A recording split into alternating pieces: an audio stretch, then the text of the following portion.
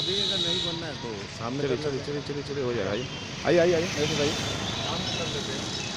हो जाएगा मेरे साथ आइए ना आइए पूरा आइए मेरे साथ टेम्पू लगवा दिया जाएगा आप